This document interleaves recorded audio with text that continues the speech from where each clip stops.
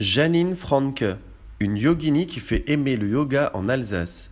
Dirigeante des centres de yoga Yoga Moves à Strasbourg et Wendenheim, Janine Franke nous dévoile les secrets de sa réussite, une réussite qui s'appelle passion. Madame Franke, vous êtes la protagoniste des centres Yoga Moves donc de Strasbourg et Wendenheim depuis des années. Et aujourd'hui, qui dit yoga dit Yoga Moves. Comment s'est faite euh, la rencontre avec le yoga? Um, pour moi, c'était il y a une bonne quinzaine d'années. Um, à l'époque, j'ai fait beaucoup de la course à pied. Um, j'avais les problèmes typiques des coureurs. J'avais des fois mal au genou, des fois mal au dos, parce que voilà, les jambes étaient en bonne forme, mais le reste du corps était un peu négligé.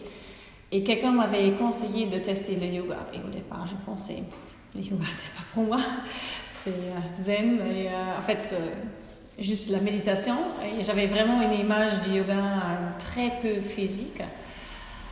Il m'a dit, il faut que tu testes l'ashtanga yoga. Je l'ai fait et euh, voilà, c'était une révélation, c'était euh, amour à première vue. Je sais aussi que vous avez fait différents voyages, et notamment à Hong Kong, euh, où je pense que ça a été la révélation. Est-ce que vous pouvez également nous en parler un petit peu? Oui, donc, euh, après, donc après cette première rencontre à Bruxelles, j'ai pratiqué de ma façon plus ou moins régulière, mais plutôt chez moi, à la maison, avec un DVD, parce qu'à l'époque, il n'y avait pas encore beaucoup de profs. Et euh, deux ans plus tard, j'ai effectivement donc, euh, déménagé à Hong Kong avec euh, mon mari.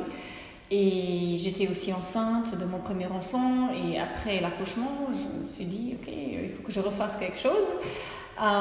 Et je me suis inscrite à un club de yoga là-bas. Et j'ai très vite euh, pratiqué 4, 5, 6 fois par semaine. C'était devenu une, une, vraie drogue. Et euh, voilà, après quelques temps, je, je, me suis décidée aussi de me former pour devenir professeur. Comment expliquez-vous euh, la place que vous occupez aujourd'hui et la renommée, votre renommée? Je pense que c'est surtout lié à la qualité de notre enseignement. On fait des formations pour euh, devenir professeur de yoga depuis 6 ans déjà. Um, nous avons formé en tout, um, je pense, dans les 80 profs euh, déjà. Donc ce n'est pas que des profs de l'Alsace, c'est des profs qui sont venus de, des gens qui sont venus de toute la France pour se faire former ici. C'est une excellente formation et la plupart de mon équipe a été formée ici dans nos locaux. Et euh, je pense que les, les, les, clients et les élèves, ils, ressentent ça tout de suite quand ils rentrent dans un cours, ils se sentent bien pris en charge, on s'occupe de les profs, ils ont un bon œil, ils, regardent, ils corrigent. Donc je pense que c'est ça qui est vraiment apprécié. Après vient tout le côté pratique, euh, très important aussi, le fait qu'on a juste une grande quantité de cours, des styles différents pour chaque niveau pour chaque goût, des styles qui sont plus physiques, des styles qui sont plus calmes, um, qu'on permet de, payer à la séance, mais on peut aussi prendre une carte de 10 cours ou un abonnement illimité pour ceux qui veulent pratiquer vraiment souvent, qu'on peut pratiquer à partir de n'importe quand dans l'année, on peut démarrer sa pratique. Donc euh, je pense que c'est cette souplesse dans notre façon de, de, de, faire, euh, c'est ça aussi qui est très apprécié. Euh, parlons un petit peu des bienfaits du yoga. Pouvez-vous nous les citer? Quels sont-ils? Ben, Je pense que pour, pour les comprendre, je peux vous les citer, mais pour les comprendre, il faudrait pratiquer. il faudrait vraiment essayer. Euh, souvent, j'ai des gens qui viennent dans le club la première fois et qui viennent un peu comme ça, un peu timides, les épaules vers l'avant. Oui, bonjour, je mal au dos. Euh, je suis pas souple, est-ce que je peux faire du yoga?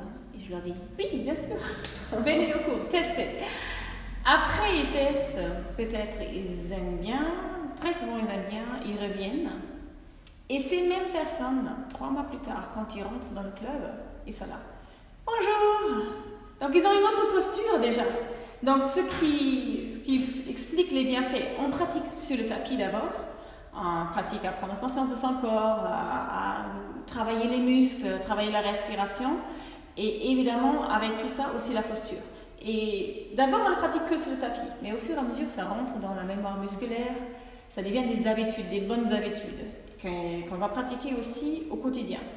Et c'est pourquoi après tous ces problèmes de dos, les maux de tête, les migraines, euh, les tensions dans le dos, dans les épaules vont lentement disparaître parce qu'on enlève les raisons pour ces problèmes. J'ai un message pour les néophytes du yoga. Plutôt que de perdre votre temps à lire des livres sur le sujet, venez en cours. Venez tester. Le yoga, c'est une pratique qu'il faut vivre, qu'il faut vraiment pratiquer. Un grand yogi a dit le yoga c'est 99% pratique, 1% théorie et c'est vraiment ça.